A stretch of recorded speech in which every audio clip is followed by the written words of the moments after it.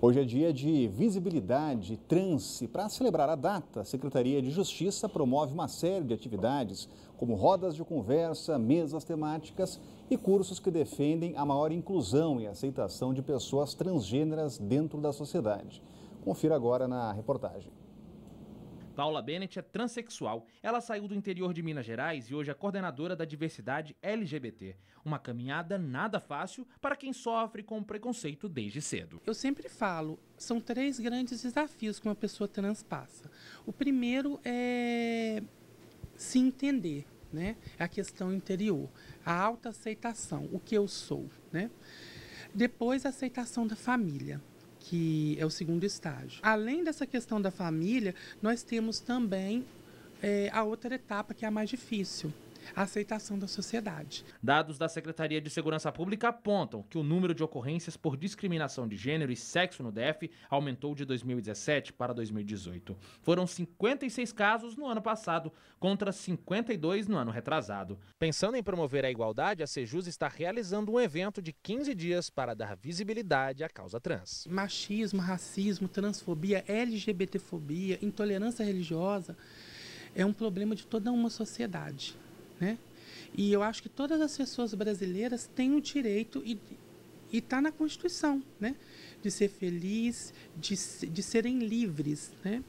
E ninguém deve ser julgado pela sua sexualidade, pelo seu gênero. O subsecretário de Direitos Humanos do DF revela que o preconceito e a discriminação ainda estão muito presentes, mas comemora os avanços conquistados nos últimos anos. Aqui no, no Distrito Federal nós temos né, o ambulatório trans, foi um grande, um grande avanço também o nome social, né, o respeito ao nome social é, dessas pessoas, a própria criação da delegacia de crimes raciais, crimes de intolerâncias, intolerâncias correlatas, que é a DECRIM. Aqui no DF, há dois anos, funciona a Delegacia de Repressão aos Crimes de Discriminação. A DECRIM tem um papel importante na garantia de direitos da comunidade LGBT. É uma conquista muito grande você ter uma unidade especializada para tratar dessa temática, né? Porque é uma comunidade que se sentia desprestigiada e agora ela se sente acolhida, tem um tratamento especializado aqui. Isso incentiva que ela venha registrar ocorrência, venha denunciar eventuais abusos e possa exercer melhor os seus direitos. Né? E amanhã no Parque da Cidade ocorre o ato Se Plantarmos Respeito, Colheremos Mais Amor. E para mais informações sobre outras ações pelo Dia da Visibilidade Trans, é só acessar sejus.df.gov.br e a programação vai até 8 de fevereiro.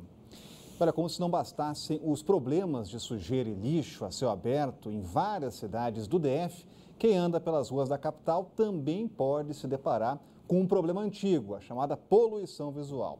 As faixas com propagandas de venda de imóveis, serviços e até de eventos estão por todos os lados prejudicando principalmente os motoristas. Faixas como essas são espalhadas pela cidade todos os dias. Anunciam imóveis, promoções e serviços. Já fazem parte do cenário urbano da capital. Mas fica o alerta da AGFIS: são ilegais. A propaganda, aparentemente barata, pode sair cara, já que as multas começam a partir de 570 reais. Isso dependendo do local e a quantidade, porque é por metro quadrado. Então ela vai aumentando conforme a metragem da faixa e a quantidade. Ao todo, 45 funcionários da AGFIS trabalham de segunda a sábado para recolher essas faixas. Um trabalho que, para alguns, pode ser algo parecido com enxugar gelo. Mas o fato é que somente no ano passado, mais de 45 mil faixas foram recolhidas. Para o superintendente de fiscalização da AGFIS, faltam mais funcionários para fazer o trabalho e também mais campanhas educativas para que a população se conscientize da poluição visual provocada pelas faixas. Tem que ser mais educado, né? porque é, trata-se de uma poluição visual, né? é um crime ao meio ambiente, né? é um dano que causa à população. Então, teria que ter mais uma parte educativa. Os motoristas dizem que as faixas podem atrapalhar o trânsito. O certo é não pôr mas eles colocam sempre, não tem jeito. Eu sou totalmente contra. Impede a visibilidade, você se distrai e além de deixar a cidade feia. É, atenção máxima, a tragédia com a barragem de Brumadinho acendeu o sinal de alerta para as condições de barragens de todo o país. E aqui no DF não poderia ser diferente. A primeira da lista é a barragem do Paranoá. O governador do Distrito Federal, Ibanez Rocha, pediu um laudo da SEB sobre as condições da estrutura. E a previsão é que esse levantamento seja entregue ainda hoje. O laudo sobre a barragem do Paranoá foi uma determinação do governador Ibanês Rocha. O local, construído na década de 60, tem capacidade de armazenar 498 milhões de metros cúbicos de água. Depois de tantos anos, a estrutura que fica sobre a barragem apresenta algumas rachaduras no asfalto. Mesmo antes de receber o relatório, o governo revelou que a retirada dessas fissuras e outros pequenos reparos, como recapeamento, serão feitos no local. As condições da barragem também preocupam o Conselho de Engenharia e Agronomia. Tanto que no ano passado solicitou à SEB informações sobre a manutenção do espaço e, inclusive, criou uma comissão para acompanhar o caso. Nós já vimos alguns problemas que de, por falta de manutenção na Barra do Paranoá e esse assunto, esse tema veio à discussão no nosso plenário do CREA e aí constituímos essa comissão e o primeiro passo que a comissão que nós tomamos foi realmente de solicitar a parte responsável, que nesse caso a empresa SEB, que nos fornecesse todo o plano de manutenção, é, a parte de quem é o responsável técnico. Né? De acordo com a SEB, a barragem passa por um processo de monitoramento de 15 em 15 dias e revelou ainda que faz um acompanhamento mensal sobre os problemas da estrutura. E acrescentou que é feita a limpeza do local e que todo ano tem uma inspeção para avaliar os parâmetros e medições da barragem de forma detalhada. Tudo isso para testar a segurança da área. Mesmo assim, fez um alerta para alguns órgãos de que a barragem poderia desabar a qualquer momento. O motivo seria a intensa movimentação de carros que passa pelo local. Ela não foi projetada com aquele fim para aguentar aquele tráfego intenso que tem lá em cima. Né? Então tem toda, toda hoje um escoamento daquela produção do, do a, agrícola, do, do PADEF, é, com a criação dos condomínios. Então nós estamos propondo que seja estudado uma ponte. O levantamento sobre a situação da estrutura do Paranoá foi determinado pelo GDF logo depois da tragédia em Brumadinho, onde o rompimento da barragem da mineradora Vale deixou um rastro de destruição e morte em Minas Gerais. A gente vai conversar sobre este assunto com o Cláudio Humberto, já está com a gente por aqui. Muito boa tarde, Cláudio. Todo tarde. cuidado é pouco depois de mais uma tragédia? Todo cuidado é pouco e quem passa por ali na barragem do Paranoá é, sabe o que eu estou falando. Eu passei por lá agora neste fim de semana. É um tanto quanto assustador você imaginar que aquela estrutura pode não estar em condições adequadas, ou nas, nas condições ideais, pelas razões expostas pela representante do CREA agora há pouco. Afinal de contas, aquilo ali não foi projetado para ser uma, uma, uma passagem de, de um trânsito, um tráfego de veículos tão intenso quanto é ali. E veículos de todo tipo, todo porte, caminhões pesados, etc. Talvez essa, esse desastre eh, em Brumadinho eh, alerte as, as, nossas autoridades, sirva para alertar as nossas autoridades, no sentido de que alguma coisa precisa ser feita ali, como lembrou a representante do CREA, talvez uma ponte, algo sobre a, aquela barragem que elimine esse um eventual risco de danos que possam comprometer a segurança. Você imagina o rompimento da barragem do Paranoá significa simplesmente, minha gente, o fim do Lago Paranoá. Significa simplesmente a, a, o fim de, uma, de um elemento que nós temos de natureza, em que se transformou o lago, sem o qual a vida em Brasília é muito difícil. Portanto, é preciso logo tomar providências para que a gente mais tarde não venha a lamentar por alguma tragédia. Olha, a política de segurança de barragens foi tema da reunião do Conselho de Governo, comandada pelo presidente em exercício, Hamilton Mourão. O presidente Jair Bolsonaro permanece internado, internado na UTI do Hospital Albert Einstein, em São Paulo. Ontem ele passou por mais uma cirurgia para retirar a bolsa de colostomia e religar o intestino. De acordo com a equipe médica, Bolsonaro apresenta boa evolução clínica e tem detalhes chegando com a Renata Dourado, já está com a gente. Boa tarde, Renata. Olá, Rodrigo, boa tarde para você, para o Cláudio, para todos que estão aí nos acompanhando. O presidente Bolsonaro passou por uma cirurgia complexa, delicada, né?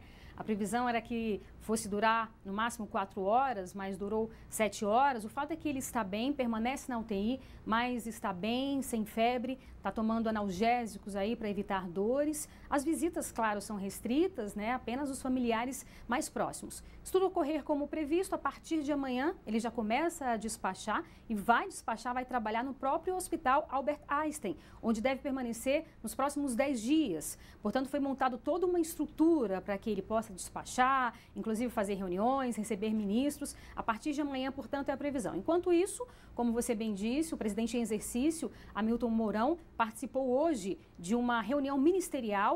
É, toda terça-feira vem ocorrendo essas reuniões com todos os ministros, onde eles apresentam ali as pautas das pastas. Só que hoje, claro, foi uma reunião é, diferente, eles falaram sobre as seguranças aí das barragens. Agora há pouco terminou uma coletiva do ministro Onix Lorenzoni, ministro-chefe da Casa Civil, e ele garantiu que todas as 3 mil barragens serão fiscalizadas e que o governo não vai economizar esforços para que isso, portanto, aconteça. Então, obviamente que isso em consequência dessa tragédia em Brumadinho, em Minas Gerais, até agora o número de mortos aí, oficial, o número oficial de mortos chega a 65, são 200 79 pessoas que continuam desaparecidas e a gente lembra que hoje teve uma operação, cinco pessoas foram presas, é, funcionários da Vale, três funcionários da Vale e dois engenheiros que atestaram a segurança justamente nessa barragem. Rodrigo.